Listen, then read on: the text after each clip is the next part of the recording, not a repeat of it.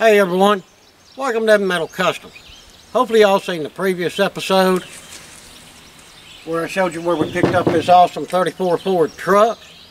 And as I mentioned in that, I bought two project vehicles.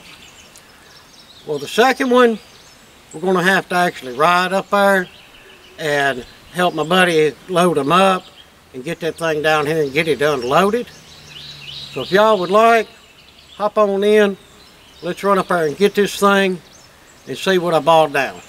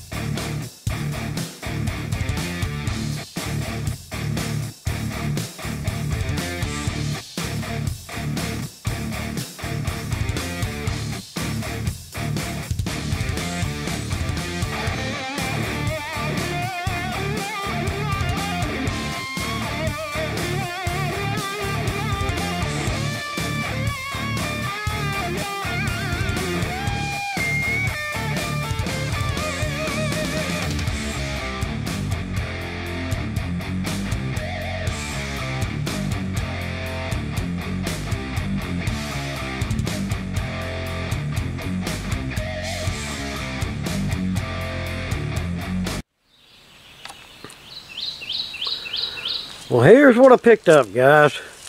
This is a 1962 Comet. And, I mean, for 62, I've seen a lot of these around. Well, not a lot, but you know what I'm saying. I've seen them here and there. And, uh, in a lot worse shape than this thing. And, I, of course, I got this one at a good price. Y'all know me. I'm that bargain hunter guy.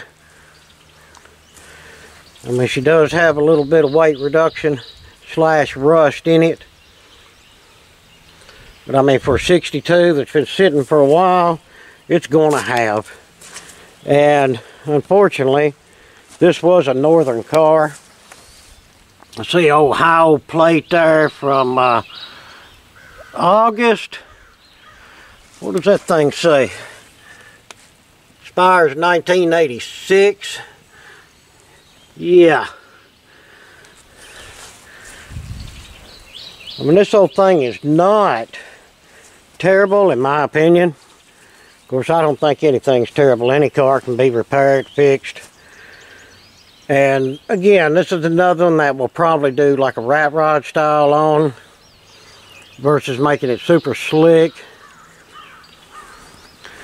Because rat rods are what's going on right now. And as you can see, it's got a beautiful interior. Yeah, we do have the other door, and it looks like it's in good shape. Uh, the bow's there for the headliner. Believe it or not, that's a pretty important thing. Not sure what all we got going on here. This thing looks like a, uh, oh, it is a standard shift. Good deal. Probably three speed in the column right there. I bet a lot of y'all don't even know what that is.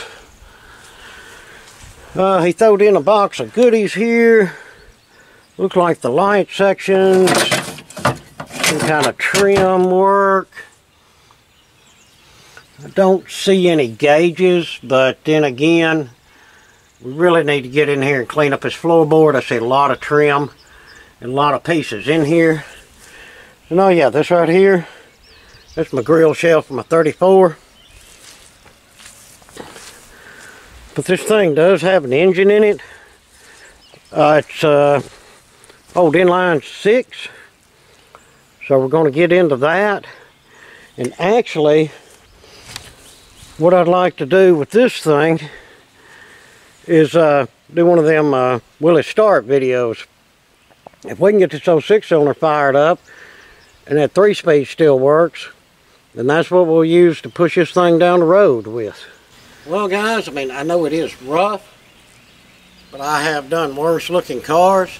And I mean, a 62 Comet, pretty cool little old car. And uh, I think it'd be a neat little project and give us something to do and keep me out of trouble. That's a fact. Well, if y'all would, throw down in the comments what you think of the little Comet. Uh, you know, should we rat rod it? Should we go just totally ignorant on it? Or, you know, what would you do if you had a project like this? And don't say junk it because that's not happening. That We're not about that. We're about saving them and getting some use out of them and enjoying these old vehicles. Well guys, thanks for watching.